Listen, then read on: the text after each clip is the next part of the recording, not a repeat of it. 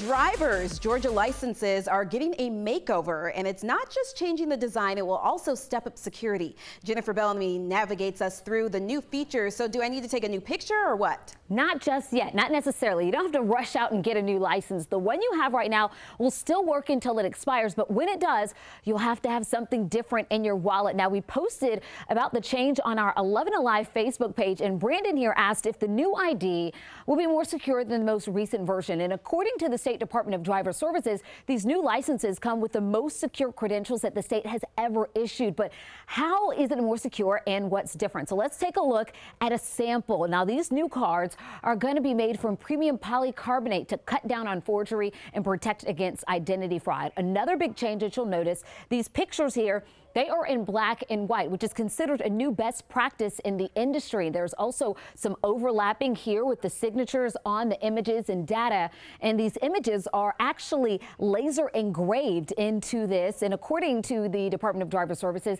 they're virtually tamper resistant. There's also that space that you always have for organ donors right here. But veterans uh, in that area will also have a, a place where they can have their service recognized on their ID as well.